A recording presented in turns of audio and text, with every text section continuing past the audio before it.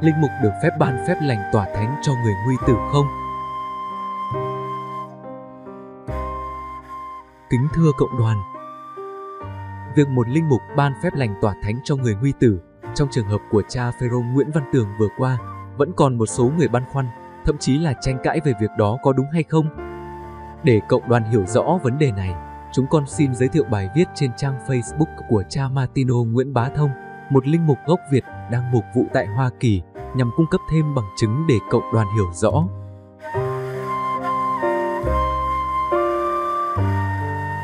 Kính mời cộng đoàn cùng theo dõi.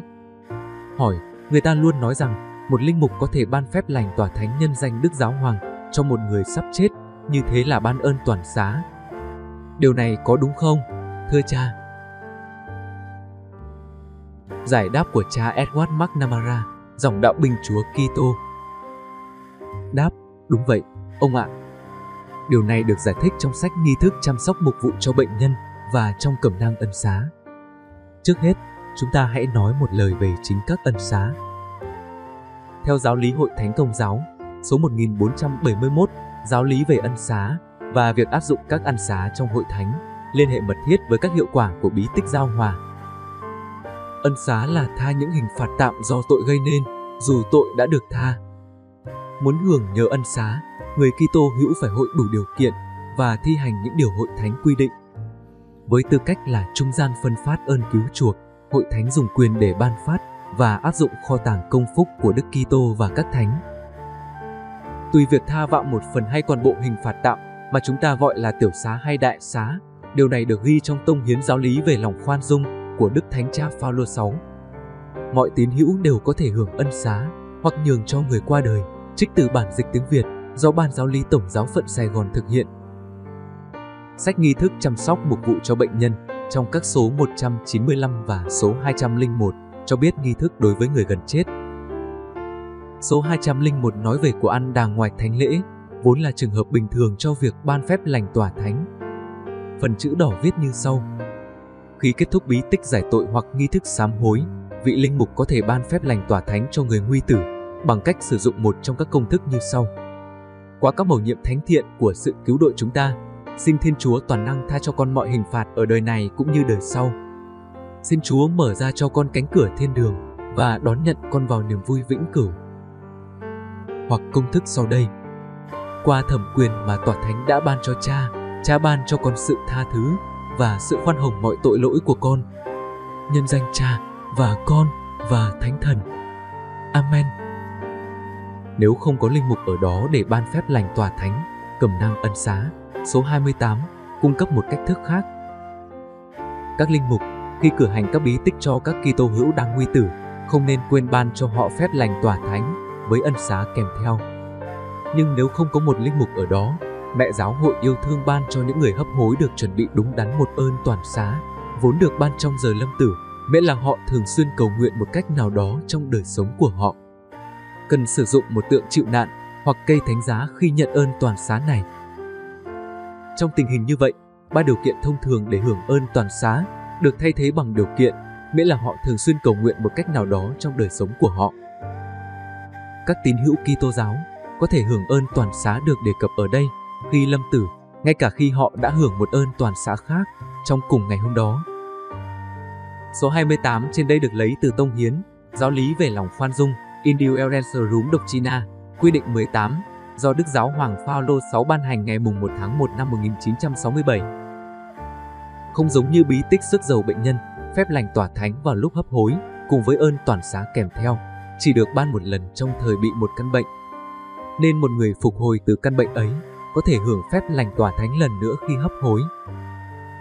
Các phép lành tỏa thánh và ân xá được ban lần đầu tiên cho các người tham gia thập tự trinh hoặc khách hành hương bị chết trong khi đi hành hương để hưởng ơn toàn xá năm thánh. Đức Giáo Hoàng Clement IV năm 1265 đến năm 1268 và Đức Giáo Hoàng Gregory XI năm 1370 đến 1378 mở rộng phép lành này cho các nạn nhân của nạn dịch hạch. Việc ban phép lành tòa thánh trở nên thường xuyên hơn, nhưng vẫn còn hạn chế về thời gian hoặc dành cho các giám mục, cho nên có tương đối ít người được hưởng đặc ân này. Do đó, Đức Giáo Hoàng Benedicto 14 năm 1740 đến năm 1758 ban hành Tông Hiến Pia Mater năm 1747, trong đó Ngài ban năng quyền này cho tất cả các giám mục, cùng với khả năng tái ủy quyền cho các linh mục.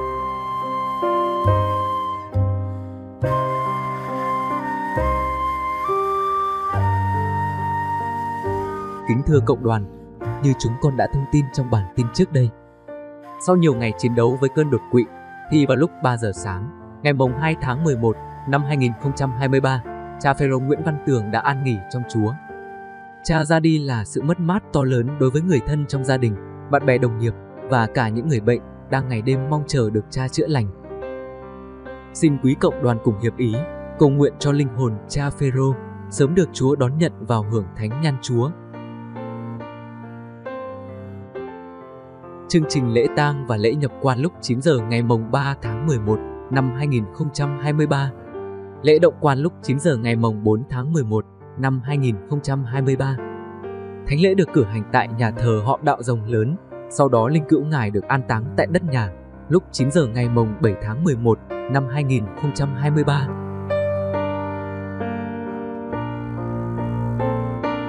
Kính thưa cộng đoàn, khi suy ngẫm về sự ra đi đột ngột của cha Phêrô, chúng ta cũng tự nhìn nhận thân phận mỏng giòn của mình. Con người dù có nhiều tiền của, dù hào hoa tuyệt mỹ hay giỏi giang tột bậc, cũng không thể chống lại hiện thực chua xót là cái chết. Người già chết là một điều tất yếu trong cõi nhân sinh này, bởi lẽ sinh, lão, tử, quy.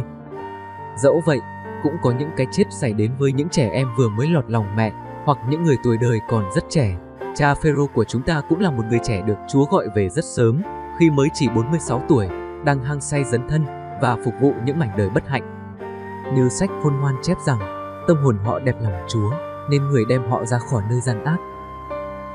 Khi nói về cha Phêrô, không phải chúng ta đang tán thưởng hay ca ngợi cha, nhưng quả thực, với những ai đã từng tiếp xúc và quen biết cha Phêrô, thì chắc chắn sẽ cảm nhận được một điều rằng cha là một con người hòa đồng, dễ thương và sống hết mực tình cảm. Điều này được thể hiện rất rõ qua những ngày tháng nghiên cứu, tìm tòi ra phương pháp để cứu chữa hoàn toàn miễn phí cho những người mắc bệnh ung thư. Bất cứ ai được sinh ra đều để lại cho đời một giá trị nào đó, ngay cả khi họ đang còn sống trên dương gian hay khi đã lìa xa trần thế. Cái chết của người linh mục trẻ Phêrô Nguyễn Văn Tường đã thực sự chạm đến tâm hồn nhiều người với biết bao cảm xúc nhớ thương, thật khó diễn tả. Cha đã vĩnh biệt mọi người, tử giã anh chị em, bạn bè và những người thân thuộc để nghỉ yên trong lòng đất. Cha đã vứt bỏ sau lưng tất cả để ra đi theo tiếng gọi của trời cao, đi về nơi vĩnh cửu và được nghỉ yên bên Chúa. Thật khó khăn khi phải nói lời từ biệt người mục tử với tâm hồn đầy khát khao, yêu thương và hy vọng. Không thể không nói gì, nhưng cũng không thể nói tất cả cho một cuộc chia ly. Xin nhường chỗ cho những giọt nước mắt vì nỗi đau đã thực sự chạm đến sâu thẳm cõi lòng. Sự ra đi của cha là lời nhắc nhở mỗi người ở lại, hãy sống giây phút hiện tại làm sao cho vẹn toàn ý nghĩa, bởi mỗi phút giây qua đi sẽ không bao giờ trở lại. Mỗi người hãy biết yêu thương và trân trọng những gì mình đang có. Bởi ai cũng chỉ sống một lần và cũng chỉ chết một lần mà thôi. Trong Chúa, cha đã đi chọn hành trình nhân thế, đã dâng hiến tất cả, đã trung thành và thực thi thánh ý Chúa cách vẹn toàn. Xin Chúa hãy hàn gắn, xoa dịu và lau khô mọi giọt lệ còn vương trên mắt những người thân thương của cha. Đứng trước sự ra đi của cha Phêrô với bao nhiêu là tiếc nuối và thương nhớ. Nhưng chúng ta luôn giữ vững niềm hy vọng vào sự phục sinh mai sau. Ngay khi còn sống con người đã mang trong mình sự chết, vì thế mà con người sẽ phải chết. Chết là một kết thúc của chúng ta trong cuộc sống này và mọi cái ta sở hữu cũng đều chấm dứt. Sự chết nhắc nhở mỗi người về bản chất thật ngắn ngủi, thật mong manh, phù du của đời sống con người trên dương thế. Đứng trước định mệnh khắt khe đó, người ta sẽ có một nhận định sầu thảm, đôi khi sinh ra một thất vọng chán trường. Niềm tin vào Đức Giêsu, đấng đã chết và sống lại, là niềm tin cao cả nhất của người Kitô hữu. Thật vậy, sự chết và sự sống lại của Đức Giêsu không những đã chuộc lại được cho con người những gì đã mất vì tội lỗi, nhưng còn là một cuộc sáng tạo, bởi vì nhờ sự chết và sống lại của người, không những là nhịp cầu liên kết giữa Thiên Chúa và con người, mà còn thiết lập một tương quan mới, đó là tương quan cha con. Nhờ cuộc thương khó và phục sinh của Đức Giêsu, con người được tha thứ, được gột sửa sạch tội lỗi khỏi án chết đời đời và trở nên con cái Thiên Chúa. Từ nay con người được gọi Thiên Chúa là Abba, Cha ơi. tin và sống trong ân tình của Chúa Kitô chính là chiến thắng sự chết, chính là đã mang trong mình mầm sống của sự sống đời đời. Ai sống và tin vào Thầy thì sẽ không bao giờ chết, không bao giờ chết, chính là không bao giờ mất đi hiện hữu trong tương quan với Thiên Chúa. Không bao giờ mất sự sống trong tương quan ân tình với người. Chúng con xin được thắp nén hương lòng để tưởng nhớ người đã khuất cùng với niềm tin tưởng rằng linh hồn cha Phêrô Nguyễn Văn Tường sẽ được thưởng công xứng đáng trên nước trời. Xin thành kính nghiêng mình bái biệt cha, người mục tử trung kiên và đáng kính, nhờ lời truyền cầu của mẹ Maria và ơn cứu độ của Đức Kitô phục sinh, xin cho linh hồn cha Phêrô được nghỉ ngơi ở chốn bình yên. Amen.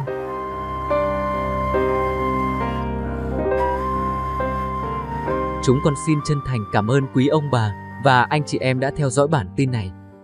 Xin Chúa chúc lành cho tất cả mọi người và đừng quên đăng ký kênh để theo dõi những video mới đến từ chúng con.